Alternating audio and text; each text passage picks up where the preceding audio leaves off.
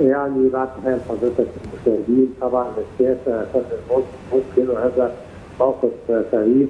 خطوة جديدة وتجربة جديدة.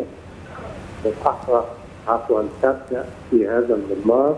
وعلى هذا النحو أجد أن الوزير الأمين العام صاحب الخبرة الطويلة السفير أحمد خضير يعني يحاول يناول يحاول أن يقلل الخسائر يحاول أن يرى الوضع الذي بدا في الأفق دعنا لم تظهر حصاد تلك المحاورة وما سيذكر عنه الغد اليوم التاريخي الخطوة الجاية هناك تضارب مشاعر في هذا الصدد.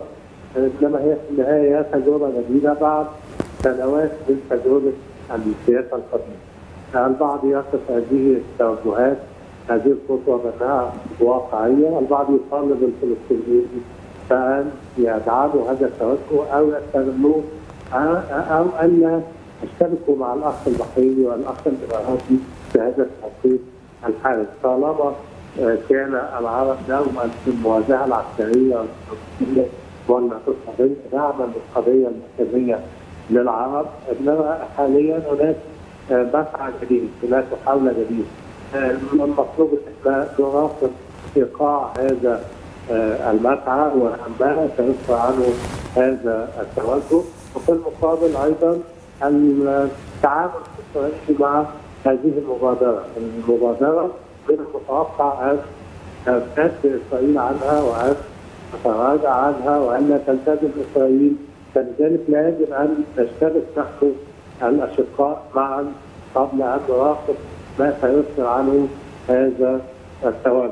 طيب أستاذ عفوا دكتور أحمد يعني أيضا السيد نعم السيد أبو الغيط أيضا قال أنه حتمية إنهاء سيطرة إسرائيل على الأراضي الفلسطينية هي شرط أساسي لتحقيق السلام، اذا قرارات التطبيع الأخيرة تحت أي إطار تندرج مع عدم انسحاب إسرائيل من أي منطقة في فلسطين خاصة منطقة الضفة الغربية؟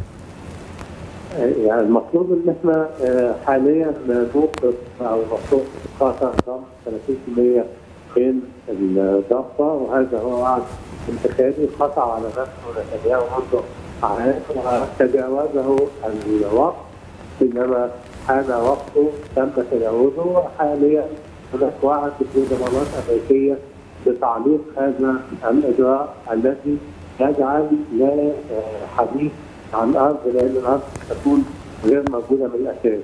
المطلوب في هذا الصدد هو انتزاع مزيد من الخطوات التأكيد على هذا التراجع على هذا التجديد. بمعنى ان عدم ضم المستوطنات نعم. في الضفه الغربية مجددا الاخراج عن المعتقلين المطالبة بمزيد من الحقوق للفلسطينيين وربط هذا باستمرار التقدم قدما في هذه الخطوة التي لم تكتمل وتتبرع ملامحها بالكامل وهناك علامات استفهام طبعا بالخطر مثل عدم توجه وزير خارجية اسرائيل إلى الاحتفالية غدا بتوقيع الاتفاقيات أش... نعم أشكرك. أشكرك دكتور أحمد فؤاد أنور باحث مختص في الشأن الإسرائيلي. كنت معنا مباشرة من القاهرة.